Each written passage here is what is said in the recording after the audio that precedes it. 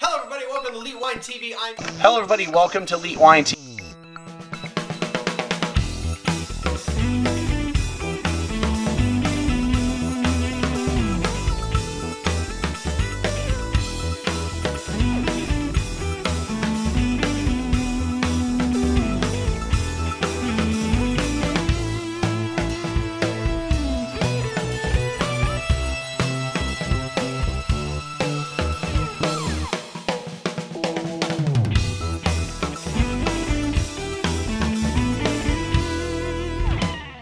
Hello, everybody. Welcome to Elite Wine TV. I'm your host, Mark Fusco, here for another edition of the show.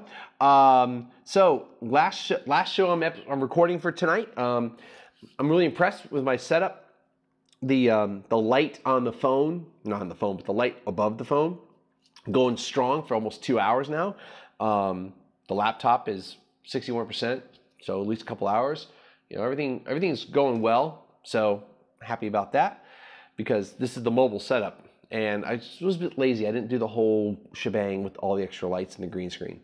All right. Um, so uh, more wine, more free wine uh, that I got from Creative Palate. So really appreciate the fact that they send me a, they send me a lot of wine every year. Um, I don't take all the samples that they send because I, I get behind on stuff and and all that. Um, and I also don't always have enough room to, to store it now. But um, anyway, we're gonna we're gonna hop into this real quick. Uh, so we've got three wines from Domaine Jean Bousquet, Bousquet, Bousquet, I guess Bousquet. Um, but these are all uh, Argentine wines. All right, so first wine, boom. This is the. Oh, you know, I don't. I didn't put in my notes. This is the 2017 uh, Domaine Bousquet Chardonnay. As you can see, uh, it's been in my cellar, and uh, instead of putting it like this so that it scrapes the glass, I've been scraping the the label. I'm sorry about that, because I, I, you know, it's just on a shelf that's not quite big enough. Because the shelf that is big enough has too many bottles like this on it. So anyway, another cap. So got my Coravin cap going here. So, um, so a 1990 vacation in Argentina was all it took uh, for third generation winemaker Jean Bousquet. Oh, right there it says Bousquet. Uh, it was love at first sight, the object of the Frenchman's desire, uh, the Gualtallary Valley, a scenic, remote, and arid terrain high in the Tupungato district of the Uco Valley uh, in Argentina's Mendoza region, close to the border with Chile. Here where the condors fly, blah, blah, blah. Uh, he's described his dream terroir with altitudes ranging up to 5,249 feet. Couldn't quite get that extra foot, huh? Um, it occupies the highest extremes of Mendoza's viticultural limits. Uh, fast forward to the present, and wine uh, Cosnetti recognized it as a as the source of some of Mendoza's finest wines. Um, the same could not be said when Jean Bousquet first set eyes on this cool climate locale.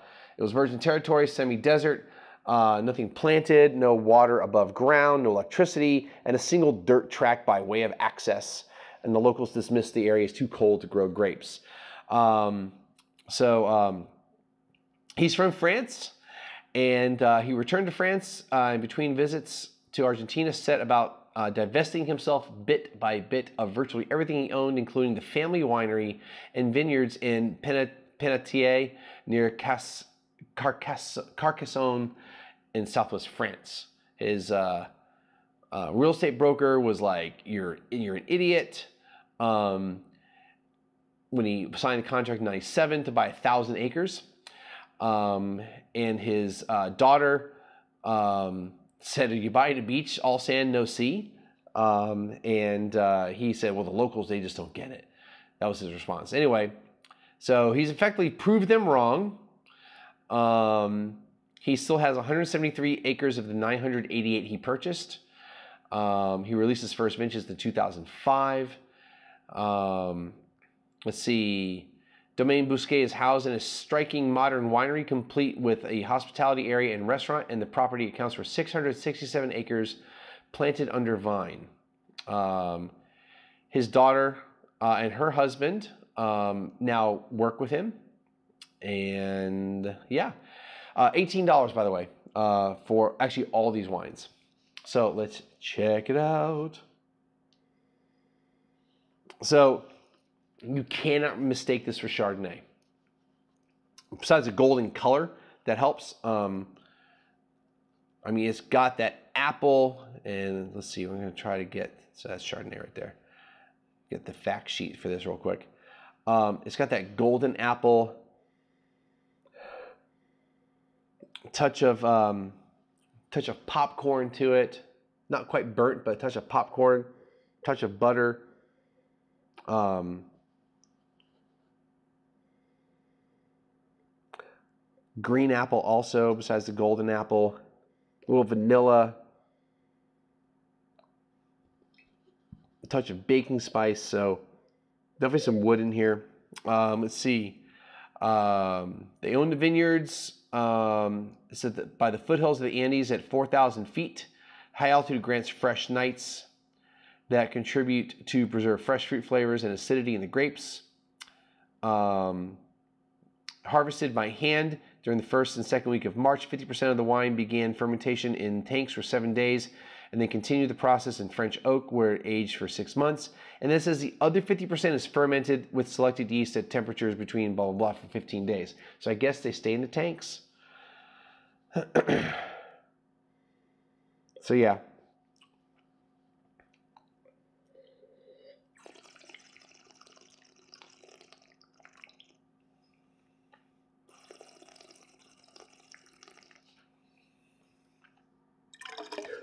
So while the wine is dry, it feels like there's a touch of sweetness to it. Um, like you get that, that, that the, the, the sweet apple you know, the sweetness from the apple, sugar from the apple. Again, I would, I would call it a golden apple or, you know, yellow, yellow apple, golden apple, a um, little bit of green apple, not a lot of pear, um, touch of orange to it, orange candy.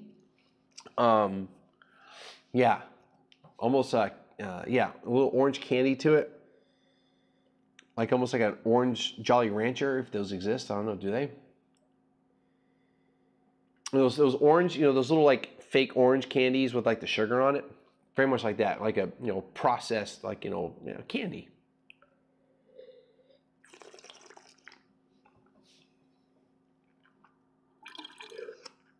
The popcorn isn't as much. The vanilla isn't as much, but it's in there. Um, you know, there's there's a there's a, like a sweetness to it. And I'm gonna look up the residual sugar. I thought they put it in here on the on the on the fact sheet here.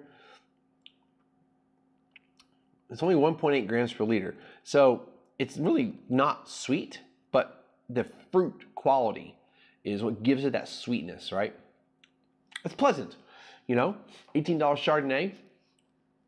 You know, I, I, I think it kind of punches above its weight uh, for $18, which, you know, typically Argentine wine and Chilean wine do that. They tend to drink higher than its price.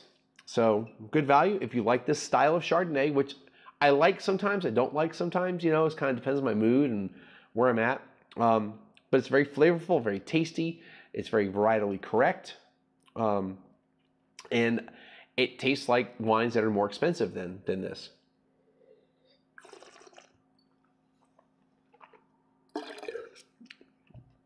And I wouldn't, I mean, I don't know what the style of Argentine Chardonnay is supposed to be, but I wouldn't but I would totally think this is from California. All right, next wine, wine number two.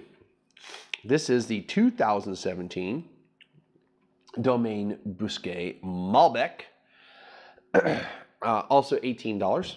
And uh, this is actually a uh, blend of 85% Malbec, 5% Cabernet Sauvignon, 5% Merlot, and 5% Syrah. So we threw in a non-Bordeaux grape just for funsies.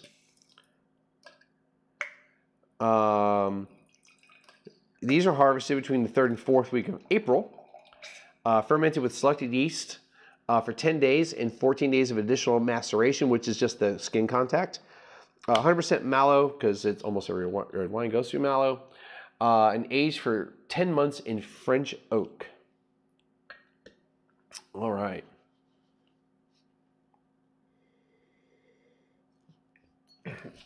Okay, so the the Aolo from last week and this, no comparison. I mean, this is an $18 bottle of wine versus a $79 bottle of wine.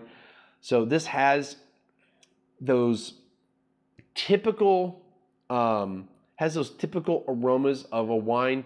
I don't know how mass produced this is, but it kind of has some of those aromas of, you know, maybe not as polished of a wine, but of a wine in an $18 range. I mean, I, I, if I was just on the nose, I would, and you didn't tell me how much it was, I would say it's probably somewhere between like 12 and $20.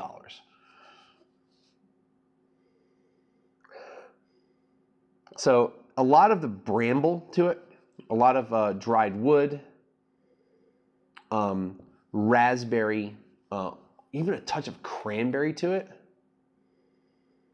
Um, very rustic smelling, which I expect from a lot of Malbecs.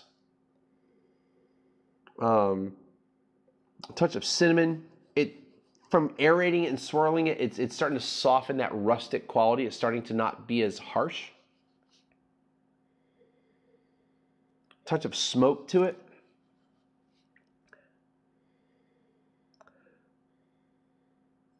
Yeah. Let's try it out.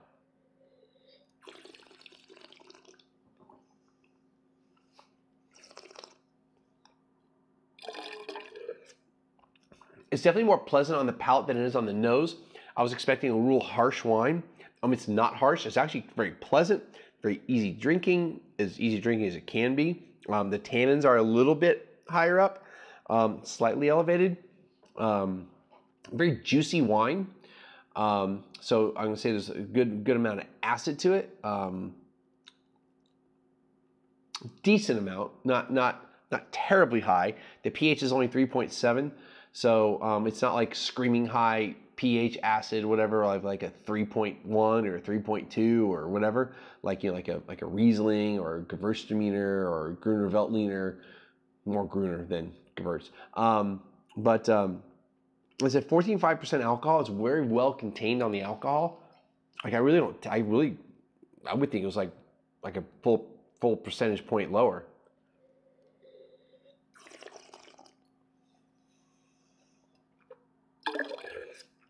But it's got a bit of that rustic quality, you know, a bit of that dried wood, like you, like you, like you're sitting at the picnic table this time, not necessarily walking into the old shop. Um, the red fruits are definitely prominent in this.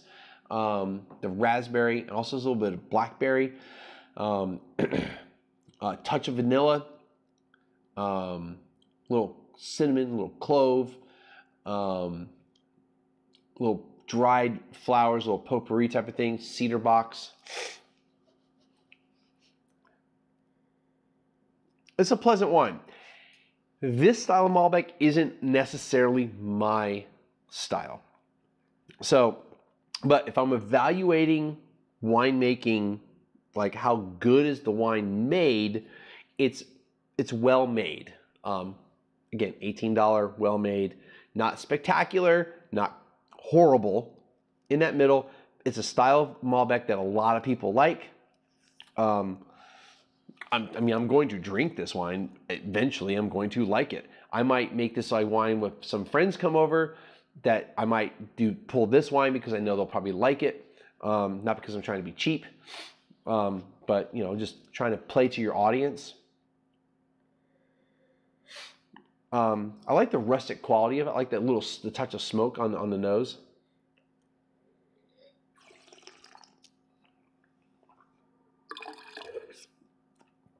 And if you have it with a meal, it's gonna be it's gonna be just fine. All right, wine number three. This is also, oh, by the way, it says made with organic grapes, I think in all three. So yeah, I don't think I mentioned the organ that they farm organically. Uh, this is also the 2017 Domaine Bousquet. Uh, they're, all reserves, by the way, uh, and it's Cabernet Sauvignon. So, real quick, reserve outside of the old world in general means nothing. Legally means nothing. Uh, I'm not saying it doesn't mean anything to the winemaker or to the winery. This, you know, these might be the, you know, the better grapes. That's why they're reserve. but reserve has no legal standing uh, in most places of the new world. Um, in the old world, there tends to be like some some regulations as to whether or not you know as to whether you can call it reserve or not. You know what I'm really happy about? It's not leaking. So I wonder if I just if I don't use it for a while, it does the leaking. So I know I'm not getting a full 15 glasses out of this, but this is like a month and a half. You're seeing this about a month and a half after I recorded all this. So I'm hoping that between now and that point, I've resolved my issue. Oh, let's, let's pull up the fact sheet for this. So let's see. It is 85% cab, 15% Malbec. Um, also, uh, harvest between the third and fourth week of April. Um, it goes through cold maceration, which is a cold soak with the skins for 48 hours. Uh, they have selected yeast with fermenting for 10 days and then 10 additional days of that maceration. 100% malo as usual and aged in French oak for 10 months.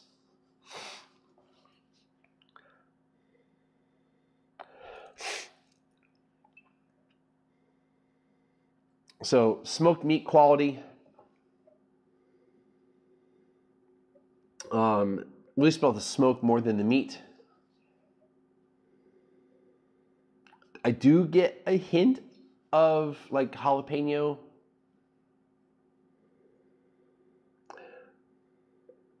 Some uh, cranberry, some blackberry, raspberry. cedar box. Uh, this has more of the old wood that you walked into the wood shop, you know, or a shop that has wood floors and all that, not the wood shop. Um, rather than sitting at the picnic table. Potpourri.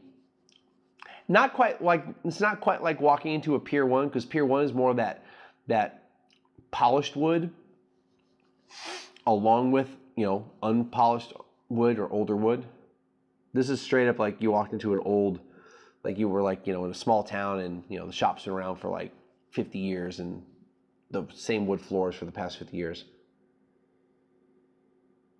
A touch of, um, I don't know, tar, but like bitter coffee, roasted coffee, that type of stuff.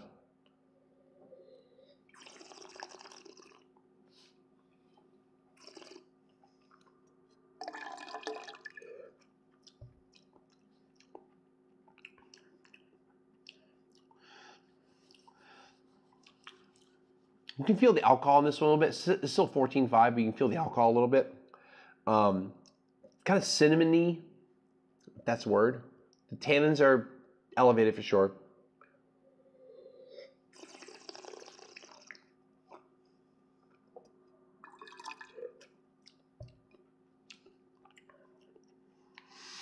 Raspberry, touch of vanilla to it.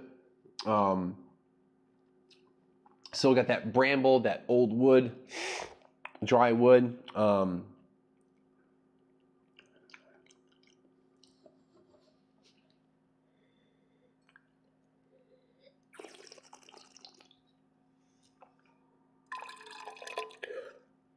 cassis. I don't use the word cassis a lot with cab. It, it's there, but I don't always key in on it. But it like hit me on this one. Um, yeah, the tannins really are not, are not, are really starting to become more aggressive. Um, it's also a, a black tea, iced tea quality to it.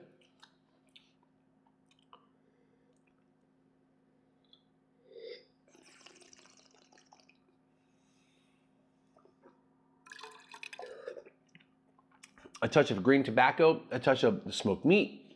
Um, it's a pleasant wine. Not entirely my style cab, but I wouldn't necessarily turn it down if it was being poured for me, and I'm definitely going to enjoy it. This is definitely a wine that needs food, so it'll help interact and help really help really enhance the flavor of the wine, of course, and the wine will help influence in, uh, the, the, food. But this is totally like a burger wine, um, you know, a barbecue wine. Um, you know, you even drink it with pizza, um, hot dogs. You know, you're not. I mean, or you could just flat out have a steak, but it should be like a, a steak on a grill, not something you put into an oven, but you know it has like maybe wood um, as as its fuel. You know, instead of just like gas, not just a gas one, but like you know you, you hit the hit the wood on there um, or charcoal or whatever. Um, yeah, yeah, it, it, it's I like it. I like I like it. Um, it's not necessarily my my preferred style cab, but you know, we totally drink it. All right, that's going to do it for this episode. Um, as always, click the links above to frame me up. Click the links below to um, find out more information about the wine. Uh, don't forget to use my promo code uh, 1337wine with Underground Cellar. Um, and uh, hit the donate button if you if you like. It's kind of over here to down, down a little bit. Um, and uh, we'll see everyone again next time.